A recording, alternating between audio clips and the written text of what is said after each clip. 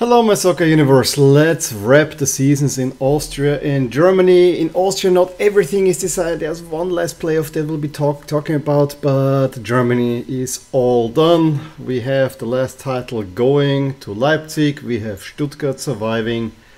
And in Austria, uh, I think Lask had a really nice last home game where we, of course, have been. Uh, the relegation was already decided, championship was already decided. Uh, we had a dramatic promotion decider to going into the Bundesliga. I'll talk about that before we talk about what is actually happening in the Bundesliga. And then it went down for fourth place between Rapid Vienna and Austria Vienna. And honestly, Rapid Vienna were really, really, really, really lucky in that one. Uh, given that they had such a bad season overall when you think, especially in the derbies where Austria Vienna steamrolled them most of the time, that they finished ahead of them does not shed a good light on Austria Vienna either. So I thought this was a very uh, interesting finale. Also, a little bit drama there, and the drama is not done yet for Austria Vienna for sure. But I wanna start actually, and although this happened last with the promotion battle in the second league in Austria, uh, where it was one spot, it was between Graz, GAK as we call them in uh, in Austria, and Blau-Weiß Linz, the local rival of Lask, and I may at one point do a video on that rivalry because I think it's kind of an interesting story and kind of a unique story as well. Uh, ahead of the uh, match day, it was that GAK had a one point lead over Blau-Weiß Linz. They had to go to Dornbirn, where Blau-Weiß Linz at home had to play Sturm Graz, but the amateur team. And it went as a, a little bit bad for Blau-Weiß Linz in the beginning because uh, they had a rather timid first half with Sturm Graz. Uh, the amateur team actually enjoying quite some possession. They could play freely did not have many, uh, had didn't have much to play, but they had already secured survival. And uh, Sturm actually took the lead through an own goal by a departing captain. I think Schösswendter was his um, name. Whereas in the other game, I think it was open, but GAK had plenty of chances. Uh, even then into the second half, they really ramped up, uh, ramped up the pressure, hit the um, uh, woodwork, I think, twice at one point, uh, missed the goal from a very, very short distance. Um, it seemed not going for them, and also this was played in Dornbirn, far in the west of Austria. So basically, the Grazer fans had to come all the way from the east of Austria, and there were massively many there. There were over uh, I mean, the stadium holds about 4,000, more than half of which were for GAK fans. So uh, quite a big scene there. After the half, Blau-Weiß Linz quickly e equalized through Ronivaldo. Ha were then the better team, had a few chances, but also could have conceded. I think uh, Sturm, the Sturm amateurs even hitting the crossbar. So again, a third time that the woodwork did not fall in the favor of GAK. And then a phantom goal was given for Blau-Weiß Linz where Mitrovic heads it on the underside of the crossbar. It maybe with some spin goes onto the post and goes out. And there's no conclusive image, there is no VAR, there is no goal and technology, there's no conclusive image whether that ball had crossed the line. But it gives Blau-Weiß the lead and at that point they were in the first place. It's even better for them since Balotelli. I remember that, that um, who they got from the Thai league uh, heads Dornbirn into to, to lead and so into stoppage time. Blau-Weiß looked rather safe. Yes, GAK get a goal back uh, in the 96th minute, but it was only a minute or two to play. And it ends 1 1 and huge scenes in Linz. They played at a very, very small stadium this time around, but they're also moving into their new stadium. Uh, uh, in in a month from now. So they will go in the Bundesliga, and for the first time in 26 years, there will be a Linz derby uh, in the Bundesliga, which I'm two minds about it. I'm excited that there are two teams from Linz, although they're the rival, but I think it's good to have this rivalry in the Bundesliga. Uh, I am never excited about derbies because of all the crap that comes around it. I hope that Blau-Weiß Linz are not like Ried that only play hard when it goes against Lask, that they also realize that you have to pick up the points against other opponents. However, I think it's an enrichment for the Bundesliga. They have a, the stadium is rather small, the new ones, only 5,000, but the location right on the Danube, um, relatively close to downtown, I think is a pretty nice one as well. So yeah, uh, that is exciting in that sense. Also exciting because I know quite a few Blau-Weiß fans. And yeah, I'm not the only one who is arrived for the Bundesliga, but that's a good thing. Overall, however, commiseration, commiserations to GAK, uh, who are a very traditional team, and they would have completed an eight-year run going from the eighth tier up. Maybe it is happening next season. Let's go back to the Austrian Bundesliga uh, and to Lask, where we had our last home game. Yes, we missed the one against Salzburg, but this time we all went. Against Austria Vienna, it was a 5 o'clock kickoff, uh, which had great weather, but we were all fully in the sun for, for, for, for that, but we were all very well uh, versed for that. It was a game where Lask had nothing to play for. Uh, third place was cemented. You couldn't get up. You could, couldn't get down. Austria though had everything to lose here because they were at that point in fourth place. So they needed the points and they had a big fan contingent coming up. Unfortunately, while I think that the Austria Vienna fans and the Lask fans traditionally are very much uh, the, similar, like you know, um, league, not uh, working class, but rather um, you know, uh, bourgeois in a way. Uh, the the, Aust- the Austria fans, I have to say, acted. This was the first time in a stadium where I really felt that there was an uh, away fan fan base that was really hostile. Not even the Rapid fans did that. So that was a little bit of a damper for me. There were also quite some Austria fans sitting around us, uh, which largely behaved but there were a few that kind of were a little bit nasty. And I have, unfortunately, a sad history with Austria Vienna because the only time that I was a minor victim of some violence at a football game happened in Vienna at an Austria Vienna game, uh, where some fans just pushed me and my friends.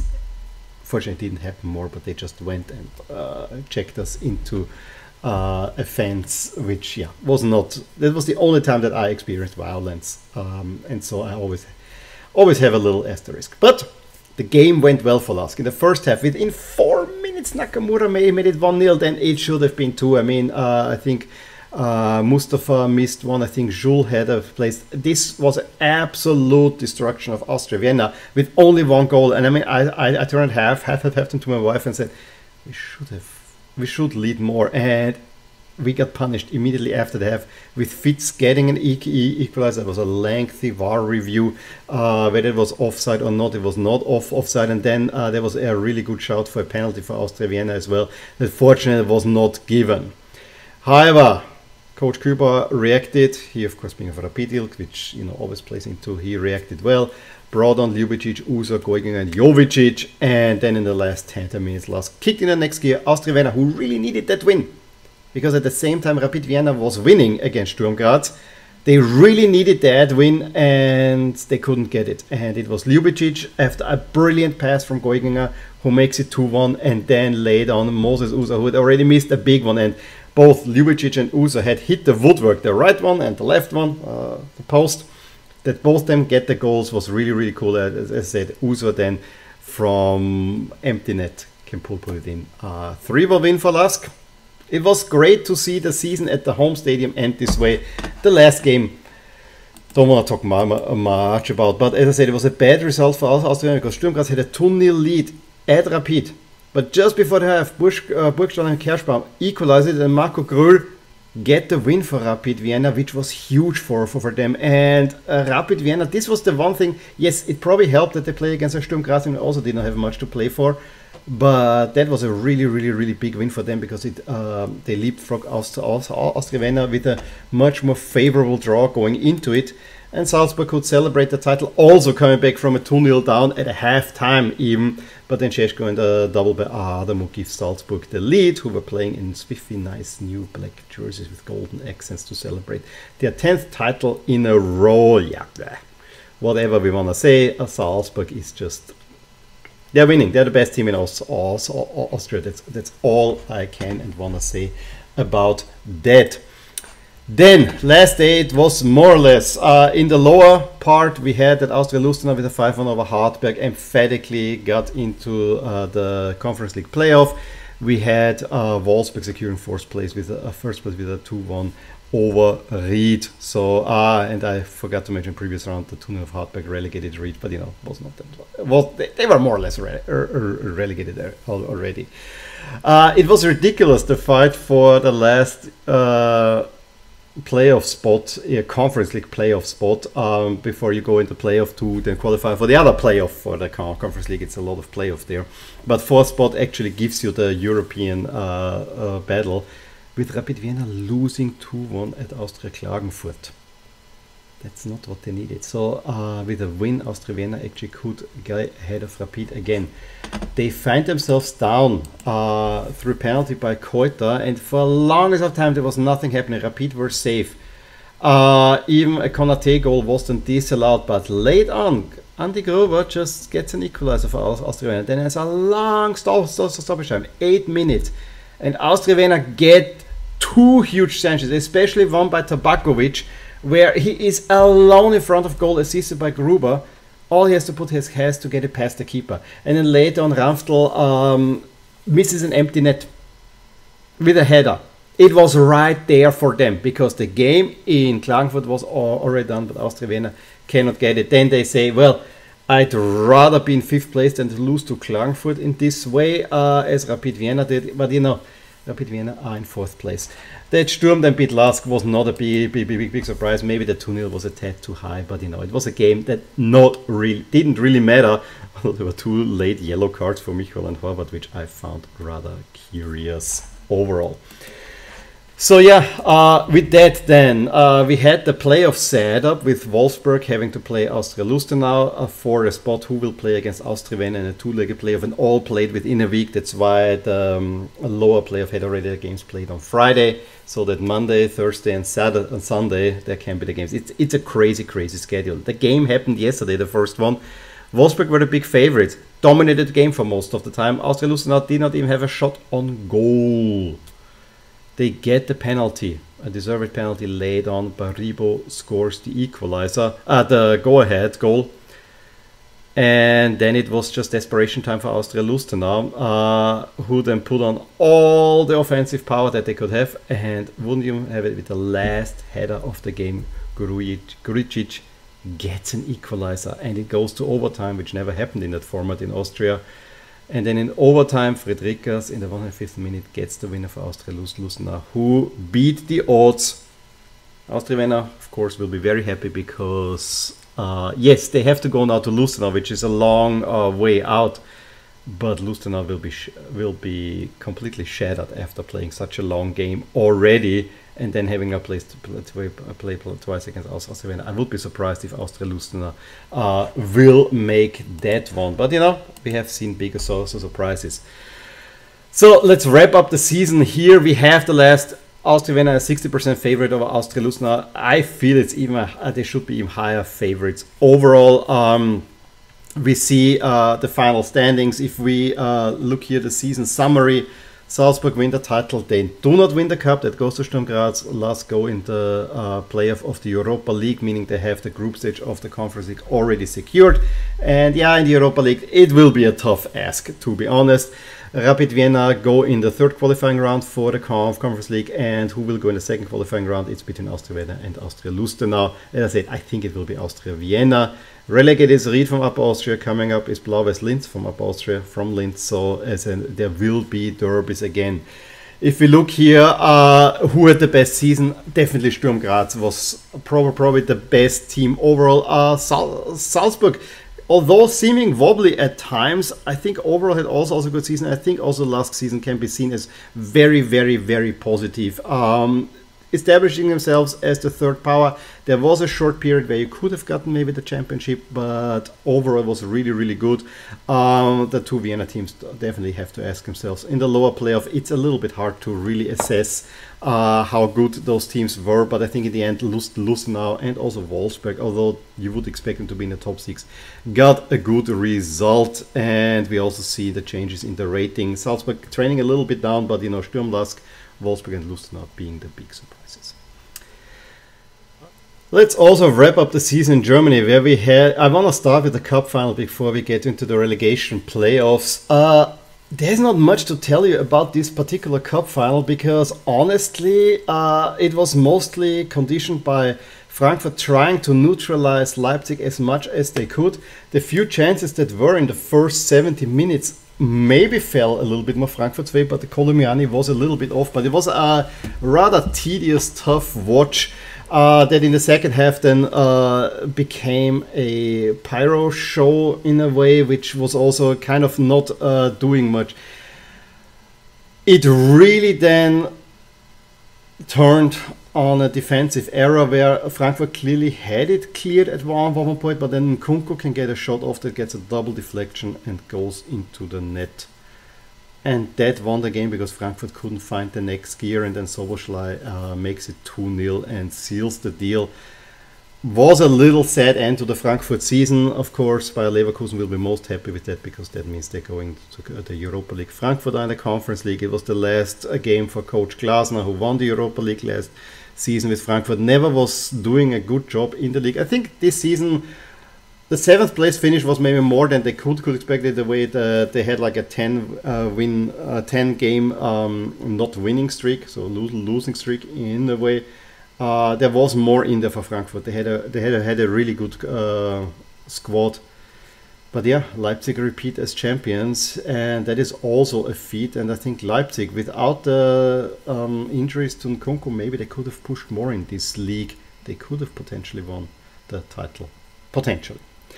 However, we have to talk the relegation playoff, and it, it was the expected one between Stuttgart and Hamburg, which I did not really wanna have. However, to get to this playoff, there was drama like crazy in the second German Bundesliga, and this happened uh, like minutes after I posted the video on Dortmund losing out on, on title because almost a similar thing happened there. Hamburg did the job, got an away win at Sandhausen. Third minute, Dompe goal that was it. They hang on to, to the win. It was all done now to Heidenheim, who were a point ahead. And they found themselves in the second half 2 0 down in Regensburg, a Regensburg team that was seriously in relegation trouble, if not getting relegated as well. Uh, don't, don't know it down. But they get a lifeline. Uh, I mean, that was the 57th, but immediately uh, own goal by Regensburg give Heidenheim a 2 1 and a lifeline. However, going into stoppage time, and the game in Hamburg, uh, the game in Sandhausen had, had, had in Hamburg had were in the Bundesliga. They were finally back. They had everything achieved because Regensburg beat Heidenheim.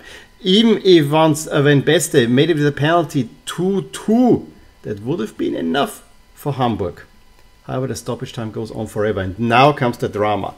The because there is no 3G or whatever happening because there's so, so many people there the fans are storming onto the field. The stadium announcer says, We congratulate Hamburg to making it back into the Bundesliga. It was all over what it happened in Schalke in 2001, I want to say, or 2000, uh, where Schalke also thought that they are, uh, they are champions, and then it gets through to everyone. They were celebrating, then gets through to it. The game is not over yet in Regensburg. It is not over yet. And wouldn't you know it, Heidenheim get the win and get into the Bundesliga. Kleindienst in the 10th minute of uh, stoppage time get the winner and a huge blow for Hamburg there. I would have loved Hamburg to go in uh, at the expense of Heidenheim. On honestly, Heidenheim even win the second Bundesliga because uh, Darmstadt, who were already promoted, managed to lose 4-0 at Greuther Fürth in a game that really didn't matter for them.